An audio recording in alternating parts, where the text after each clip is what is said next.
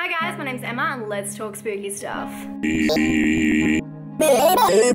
So I just finished watching a really interesting movie that actually is available on Netflix. If it's available here, you know the drill, it's probably available wherever you are. Uh, the movie is called El Bar, as in the bar. Um, it is a Spanish film and it was fucking crazy.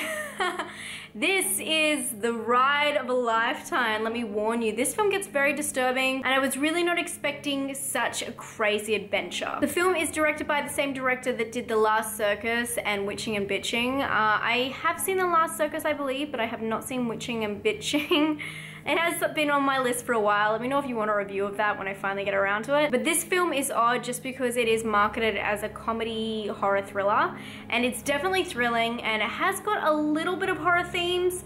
Um, I don't know what technically is considered horror. You know, there's so many subgenres, but it hasn't got anything too horrifying. But I'm very desensitized. The film is more of what I would say is like a thriller with a lot of disturbing aspects. It is about a bunch of random people that go into a bar, people working there and people that go there regulars when there is a shot outside and someone is killed on the sidewalk. Within the first half an hour of this film, you do find out what is the cause, but it has like a very fun kind of mystery play at the very start where everyone's turning to each other and saying their theories. And it's really like a process of elimination, and I really enjoyed that. Uh, that is definitely where I feel like it's more comedic and it's very fast paced. The whole film is very fast paced um, with its dialogue and its editing, and the characters back and forth, their banter is just crazy. All your attention really has to be on this film, and especially because if you don't speak Spanish like me, you have to read it all.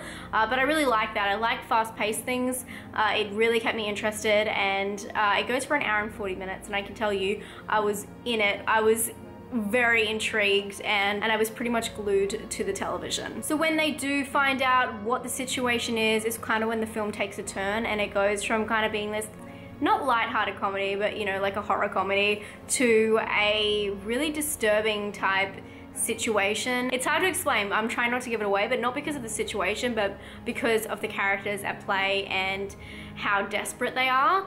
And then it kind of goes and spirals out of control from there. But I really did not expect it to take that path. I expected it to be, you know, like a Shaun of the Dead type style um, film, and it really isn't, so don't be fooled. It's quite a provocative film, I guess is that the word I'd use?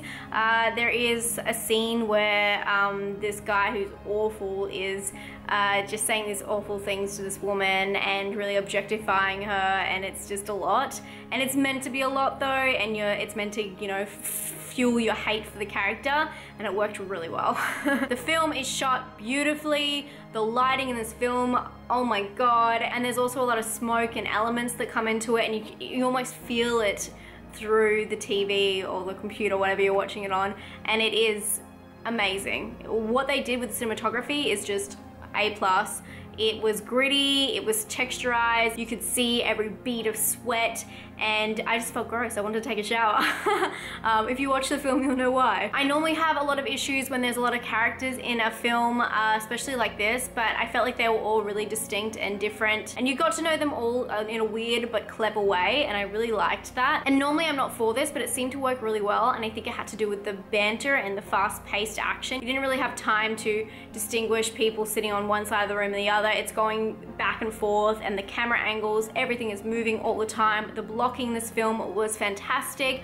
People are on the floor, people are up. To be able to control several characters in a room, small room at the same time and block it so they're done in interesting and uh, ways where the camera angles have to change to make it really visually appealing to your eye and really interesting. Love it. And in that same token, they use different techniques, uh, especially towards the end. There's a, quite an action-packed scene and they use a very different type of like camera stabilizer um, to run and I thought it was really interesting and quite quirky but it worked really well in the film. Sometimes I don't like when they mix techniques but I think they did it really well. Overall this film is amazing to look at and really interesting to watch. The power play between the characters is really something to look out for and also keep your ears open because I don't want to spoil anything but something happens at the very start of the film that kind of clicked for me. It's a spoiler and I don't want to tell you but I pretty much figured out the film. I'm gonna give this film a 7 out of 10. I highly recommend it. If you have it on Netflix, give it a watch. I know that sometimes people don't like foreign film or they don't like reading the subtitles, but I urge you, you will not be sorry. It is an amazing film and uh, it was just so fucking interesting. uh, I hope you guys found this video interesting and if you did and you like reviews like this, please give it a thumbs up and I'll talk to you guys very soon. Stay spooky guys.